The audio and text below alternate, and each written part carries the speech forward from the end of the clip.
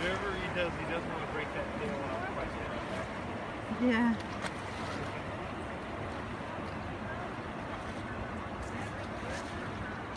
Nice.